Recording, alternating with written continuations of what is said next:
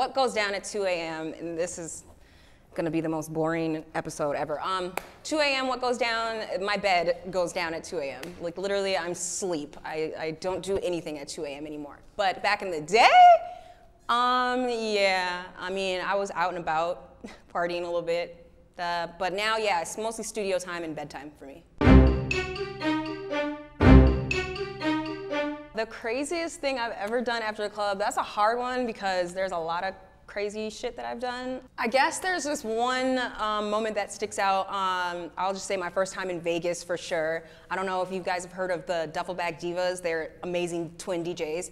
Um, and yeah, they're like my sisters. And I was going through a breakup at the time and being extra dramatic. And they were like, you know what? We're playing Akon's birthday uh, in Vegas. Let's like go out and forget about everything. So quite literally went out and forgot about everything and um, got so wasted that like I remember, well, basically nothing except for the end of the night when I was, or excuse me, the next morning when I woke up in a chair upright and my friends told me that I cried myself to sleep and like literally was like screaming for my ex-boyfriend. It's pretty sad, so.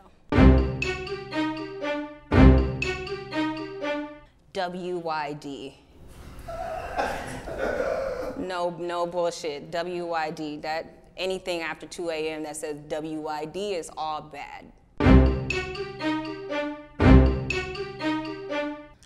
Get a lot of pickup lines. Nobody really talks to me, but uh, I would just say when guys like start over overtly talking about like what they have and the, like the money they have as like a way to kind of like reel me in, it usually kind of turns me off. So that's like not good. If like buy me like an iced chai or something. I don't know, like that's a turn on.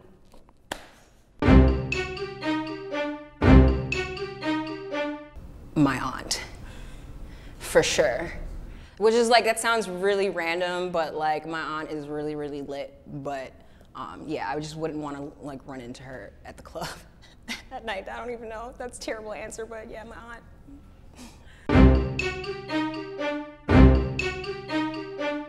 Ooh, that's a good one. Oh, uh, I was just doing karaoke the other night.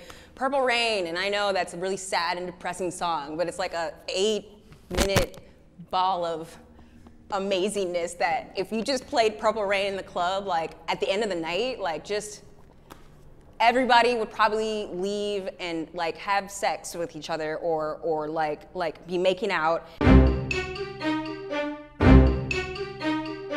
Oh wow, that's easy. Um, so I'll try and make this short. I was going home in Tarzana at the time and um, from the club and I was pulling up to my house and I'm just thinking that there, there's a guy walking down the street and I'm thinking that he's gonna be like walking his dog or something. And then as I'm parking my car and I get out, I realize he doesn't have a, a dog. He's just walking around the neighborhood. Cool, whatever. I walk up to my house and as I'm walking across the street, he's like going this way and I'm coming this way. So we kind of meet. And as I'm meeting to get to the sidewalk, he's kind of like speeding up. And I felt that energy. So I just kind of like book it to the front door. And it's not even, we didn't even meet. This is funny. And then I turn around he's literally like right behind me. Like literally the light went on. He's right there. He got spooked and turned around and like ran back out the driveway. But as far as like creepy encounters, that's definitely the creepiest encounter I've ever had after 2 a.m. My most exciting celebrity encounter definitely was Kid Cudi. Um, Kid Cudi reached out to me, uh, was it, two years ago, uh, based on a record that I had put out uh, called Hands On. And I'll never forget, like out of nowhere, like I got this notification on my Twitter and it said, the chosen one has followed you on Twitter. And I was like, who's that? like, who's the chosen one? And then obviously it said Kid Cudi, and then I got a DM from him. And me thinking like, typical industry shit, like he's probably gonna be like a weirdo, like he's probably gonna be like, wants to have sex and weird stuff, but it wasn't anything like that. Like literally linked up with him um, at his studio and uh, literally talked about music like the entire night. For like four hours, we sat there and talked about his newer project at that time. He played me his music like that hadn't been released yet. He talked to me about like, you know, his Grammys and just like his journey, and that was hands down the like best celebrity encounter I've ever had because not only was it like I just met him, like he really inspired me and like told me like verbatim like the women are the future. So he really like kind of helped me stay in the game and keep doing what i'm doing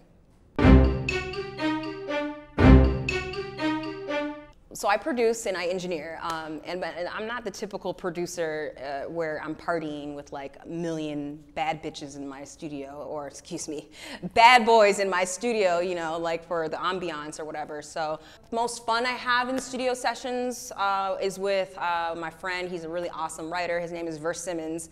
And uh, yeah, we always like literally have so much fun in the studio. Like every time that we're making music, it's just like, it's not like work. It's just like literally hanging out.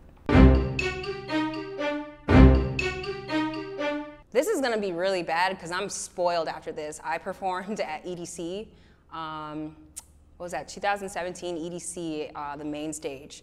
And that was in front of like over 100,000 people. So I'm gonna have to go ahead and say that's my favorite place to perform is gigantic music festival arenas. I am spoiled, can't help it. That was the first place I ever performed, so yeah.